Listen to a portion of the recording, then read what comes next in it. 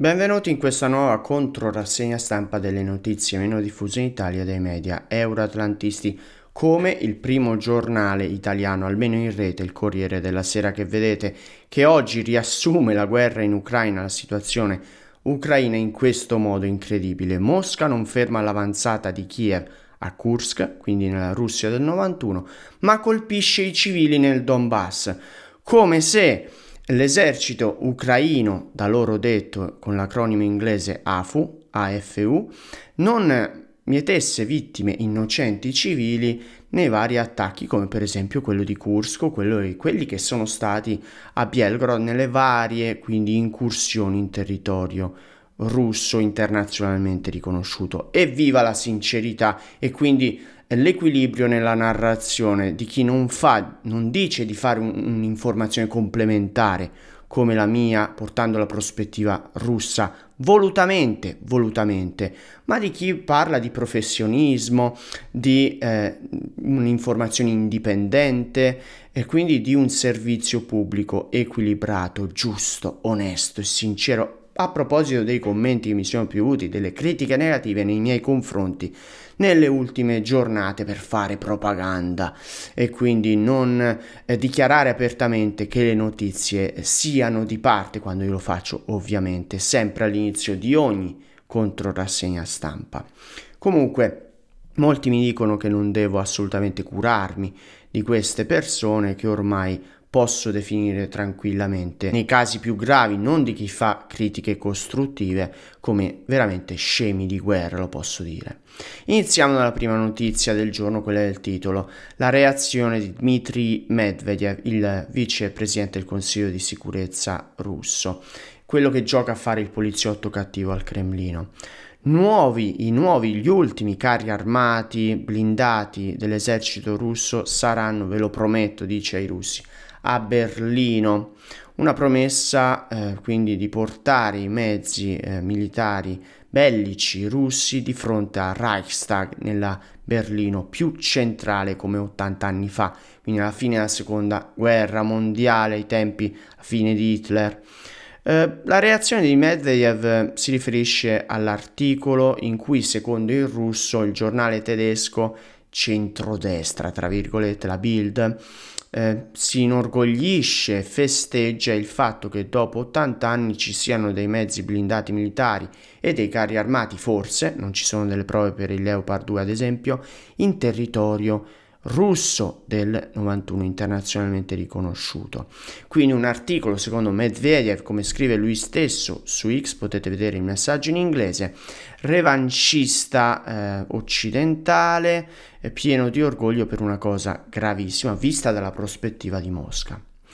La Bild ha parlato di almeno eh, tre BMP, quindi veicoli da trasporto, fanteria, corazzati leggeri Marder nel territorio di Kursk, nella cittadina ad esempio di eh, Suza, importantissimo snodo energetico verso Slovacchia e Ungheria, importantissimo per la controrassegna stampa di oggi, quello che vedremo insieme. Il, la commissione alla difesa del Bundestag della Camera Bassa tedesca, va ricordato il, pre, il, suo presidente Markus Faber, ha cercato di spiegare l'utilizzo da parte dell'esercito ucraino di Kiev di mezzi eh, e armi tedesche in territorio russo in questo modo. Dopo la cessione gli ucraini quindi possono farci quello che vogliono e quindi diventano armi ucraine, cioè la Germania se ne lava le mani e non tutti sono d'accordo con le decisioni del governo tedesco dopo le pressioni fatte dall'America in questo senso in Germania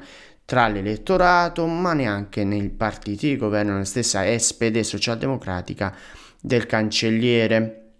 La Bild, questo è l'articolo eh, riportato anche da Mondiner, eh, di cui parlavamo prima, cui, a cui eh, c'è stata la reazione successiva di Medvedev. I vari marder, quindi di oggi, secondo il Ministero della Difesa russo, e quindi Andrei Belausov, eh, si sono pubblicati eh, dei video che testimoniano la distruzione di questi mezzi teutonici da parte di droni kamikaze eh, russi, come ad esempio i più famosi sono i Lancet senza dubbio.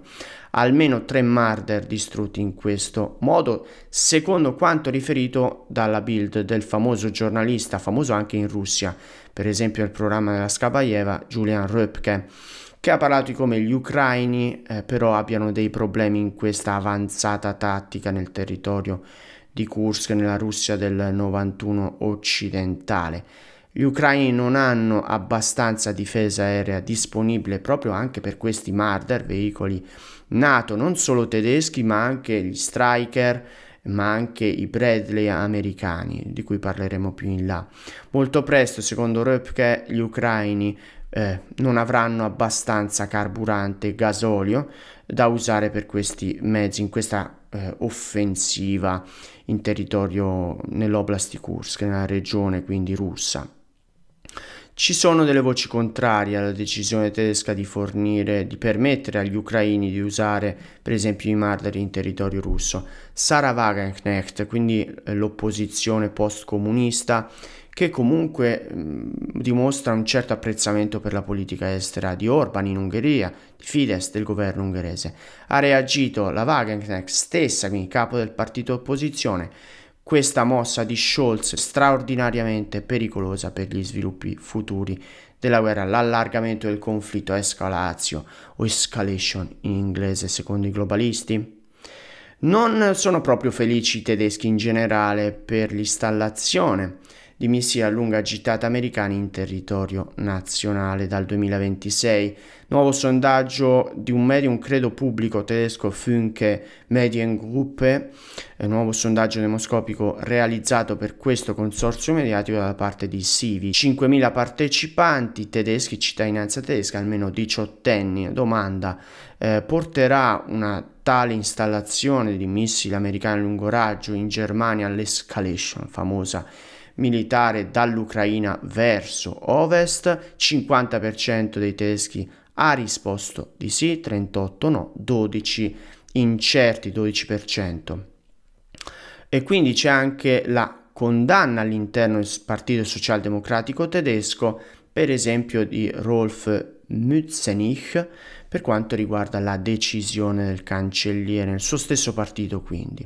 Lui è un importante eh, parlamentare del Bundestag e dell'SPD.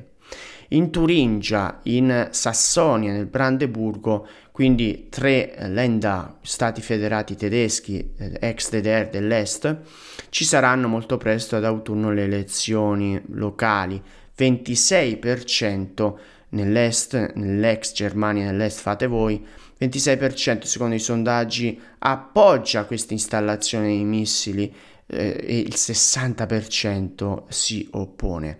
Nell'ovest, Germania dell'ovest, ex ovest, anche se la Germania è ancora divisa in due, 50% appoggia questa installazione di missili americani, il 36% si oppone solamente. Vedete che in ogni statistica la Germania è ancora divisa in due, nonostante i lunghi decenni passati, più di tre decenni dalla caduta del muro e la fine della cortina di ferro che è iniziata proprio in Ungheria ai confini austriaci, per chi lo sa.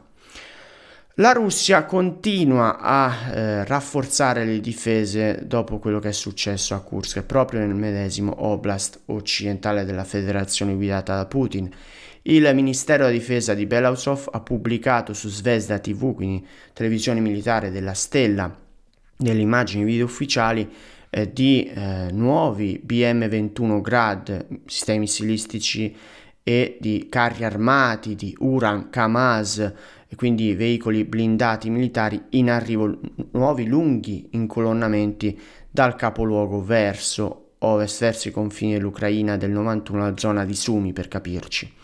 L'Ucraina eh, ha attaccato in territorio eh, russo attraverso l'utilizzo non solo di Marder tedeschi ma di veicoli blindati eh, da trasporto fanteria corazzati leggeri come Bradley e Striker, come ci sono delle immagini dalla parte russa che lo testimonierebbero secondo la prospettiva del Cremlino e di chi sta sul luogo, sul posto e documenta il tutto. Quindi i famosi blogger militari eh, filorussi ma anche filo ucraini all'occorrenza.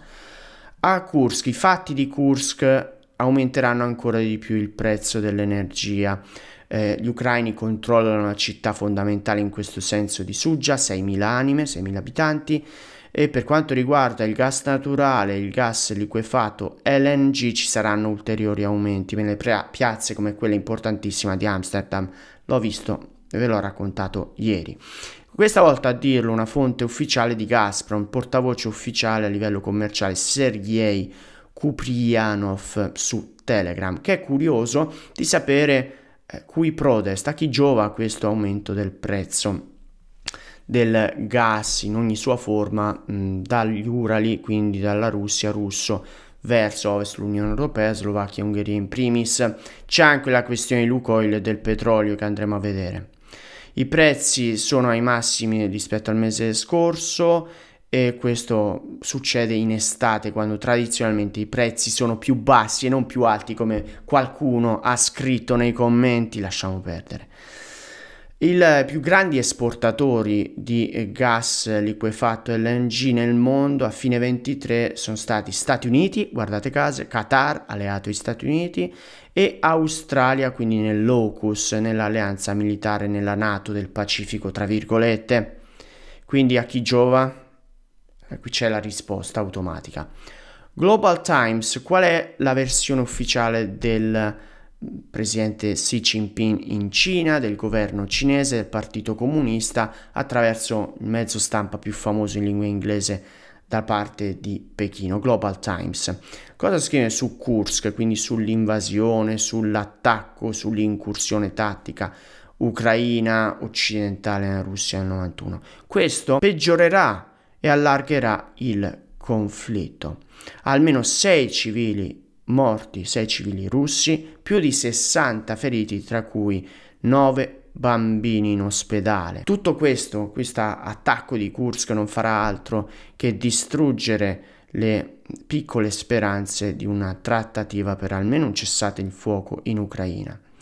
Stati Uniti assolutamente ipocriti, scrive il giornale cinese, da una parte cerca, eh, vuole ufficialmente limitare l'utilizzo da parte ucraina delle armi prodotte in America, dall'altra aumenta la fornitura e i finanziamenti anche militari, miliardi di dollari di pacchetti a Kiev. Gli Stati Uniti soffiano sul fuoco, scrive Lee Haidong, l'editorialista, che è un professore universitario molto importante in Cina. La maggioranza del mondo, il cosiddetto sud del mondo, BRICS, Shanghai, eccetera, eh, volere contro il volere di questo sud del mondo, gli Stati Uniti, l'Occidente allargato, Rammstein, eccetera, eh, cerca di eh, evitare in ogni modo eh, dei patti o comunque un tavolo di trattative per riappacificare la questione, la crisi a Kiev e dintorni. I russi in sei mesi di conflitto hanno conquistato più territorio e non è questo l'obiettivo principale della Russia, ma è quello di logorare le forze armate ucraine, la famosa demilitarizzazione detta più volte da Putin. In sei mesi hanno conquistato più territori russi, stavo dicendo, più eh, di quanto quindi gli ucraini non abbiano fatto nella famosa controffensiva estiva del 2023. 592 km quadrati contro i 321. Scrive una fonte occidentale non filorussa, il Financial Times di Londra. L'Ucraina, l'esercito ucraino soffre di una mancanza eh, di nuove leve. Sappiamo tutti ormai delle mobilitazioni forzate, censurate dalla stampa occidentale, persino in Transcarpazia, nell'oblast più occidentale ucraino. I russi eh, stanno sfruttando questa, questi problemi eh, di lezza, quindi di eh, numerico all'interno delle forze armate di Kiev per sfondare sempre di più nelle zone di Pokrovsk e Toretsk, in Donbass, nel Donetsk, nel silenzio generale della stampa principale italiana. Che bello. Presidente di Belgrado Aleksandar Vucic. Mosca ha ufficialmente informato la Serbia eh, di un Occidente a guida statunitense che sta preparando un colpo di Stato in stile Maidan nella nostra patria quindi a Belgrado. informazioni ufficiali attraverso canali ufficiali russi arrivati da noi a Belgrado, ha detto il presidente serbo Vucic. Eh, confermando il fatto che la Russia è pronta e eh, non si farà travolgere come nel 99 dalla Nato, neanche col famoso soft power usato a Kiev nel 14-15 dalla Nuland e compagni, quindi falliranno miseramente, secondo Vucic, americani e stati satellite. Le opposizioni europeiste e americaniste, quindi serbe, sono pronte ad utilizzare, secondo quanto scrive un giornale eh, serbo eh, Vesernie Novosti, una grande marcia filo occidentale a Belgrado del 10 agosto prossimo per cercare eh, di eh, realizzare un copione, uno scenario simile a Euromaidan, quindi una rivoluzione colorata secondo la narrativa occidentale, una rivoluzione popolare dal basso e non finanziata da 5 miliardi di dollari americani come rivelato poi dalla Nuland, numero 2 del segretario di Stato al tempo, oggi ritirata, tra virgolette. L'Unione Europea è interessata molto con i patti siglati con Vucic nelle ultime giornate, 19 luglio scorso, al litio, l'enorme riserva di litio e di metalli preziosi per la transizione energetica nel territorio serbo, quindi balcanico. E quindi dove ci sono le risorse naturali potrebbe arrivare un'esportazione eh, di democrazia alla maniera americana, come è successo più e più volte, ad esempio in Nord Africa Medio Oriente.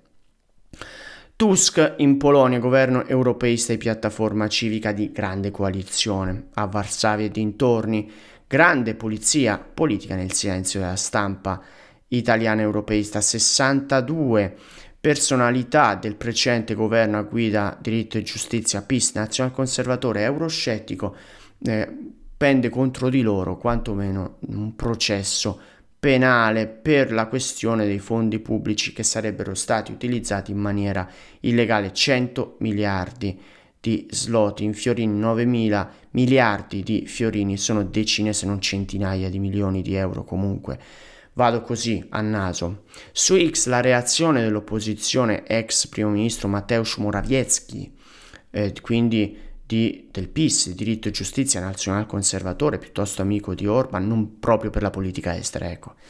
Il primo ministro attuale Tusk scrive su X, come potete vedere in polacco, ha creato un, un governo da un sistema chiuso in cui L'unico obiettivo è quello di mentire per arrivare a distruggere il più grande partito d'opposizione, il nostro, il PIS Diritto e Giustizia.